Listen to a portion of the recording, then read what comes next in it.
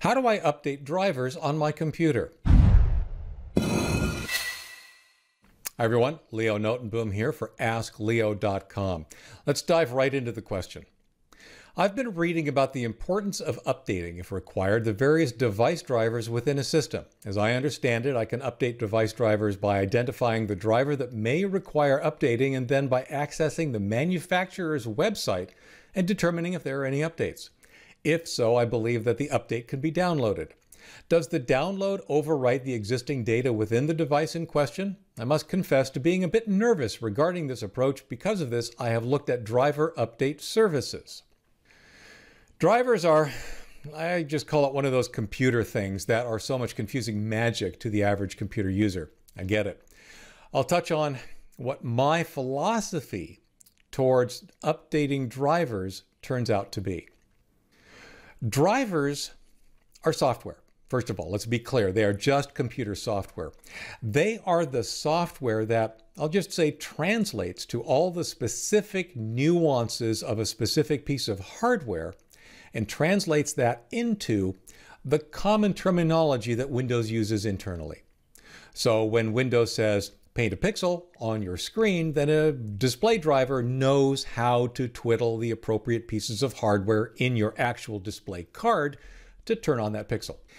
Device drivers are actually what makes Windows possible in a lot of ways. Windows basically talks to a layer of device drivers for every piece of hardware, and that's what allows it to then work on all these different pieces of hardware because all that really needs to happen is a new piece of hardware gets developed, a new device driver gets created for that piece of hardware.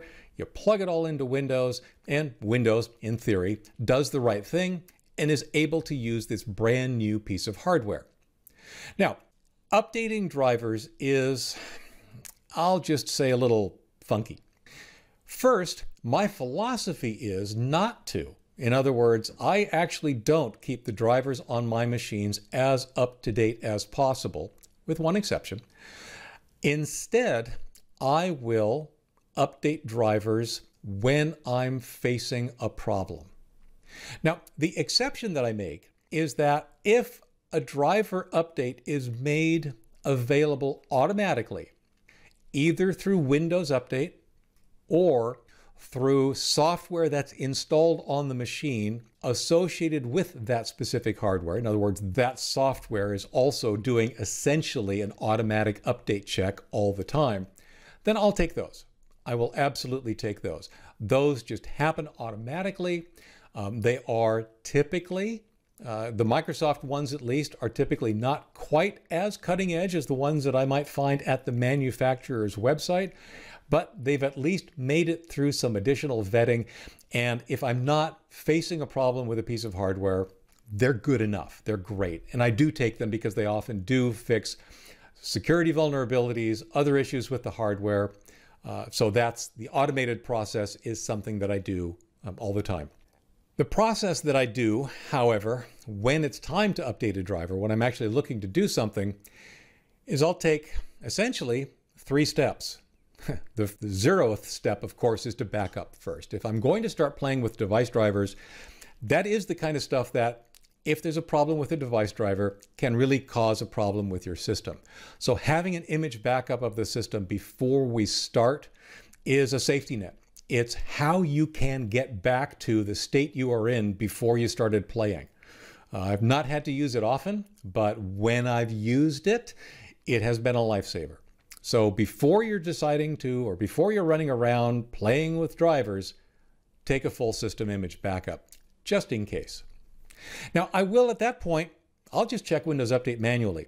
I don't know how often Windows Update may have happened or how recently it will have happened on my machine, but I can force the issue. I'll just go into the Settings app and hit Update or check for updates repeatedly until there are no more updates available.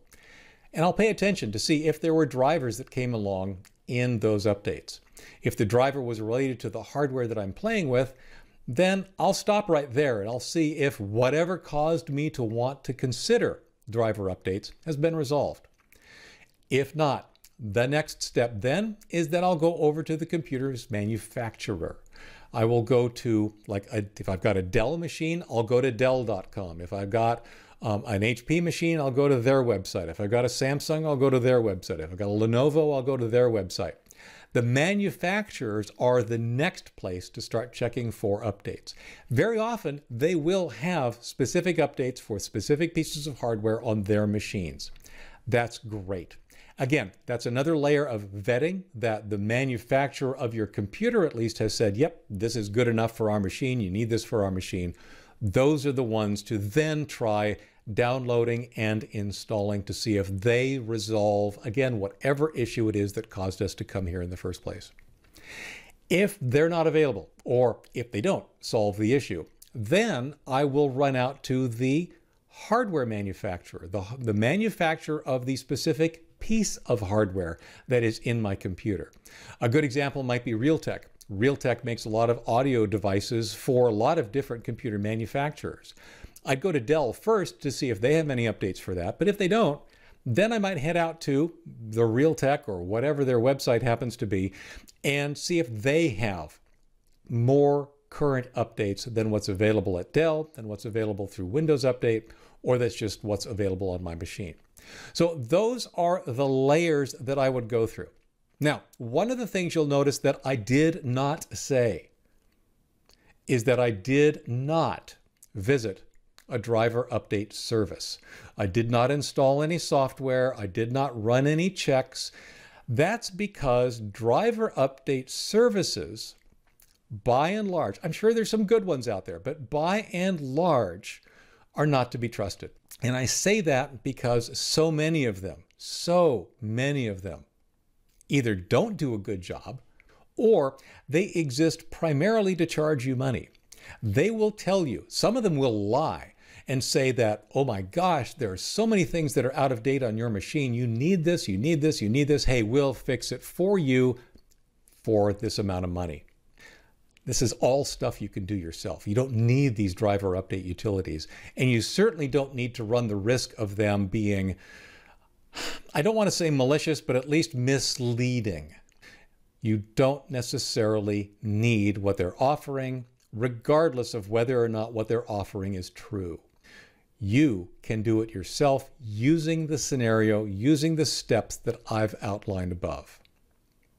So, like I said, I don't look at updating drivers outside of the already existing updates that happen automatically unless I'm experiencing a problem. It, there's just no reason to go through the extra effort, in my opinion. And that's because there is a slightly higher risk when you're updating drivers. Drivers, as I said, are at a very fundamental level of your machine. They are what allows Windows to talk to your hardware. If you install an updated driver that has a bug, it could prevent you from booting your machine. It could really cause serious problems. Unless you're facing a problem that you're trying to solve, it's just not worth that additional risk. If you go down that route, of course, take those backups before you start. By all means, please do so. But there's a good chance you don't need to have your drivers be as point for point up to date as you might otherwise think the way we do with other software on your machine. That's my philosophy anyway. Like I said, the automated processes typically take care of the really important stuff that you want to stay updated with, and everything else is all about fixing specific problems. And you don't need update utilities to do it for you. For links related to the article on which this is all based, for uh, comments, for updates and more, visit askleo.com slash 3084. I'm Leo Notenboom. This is AskLeo.com. Thanks for watching.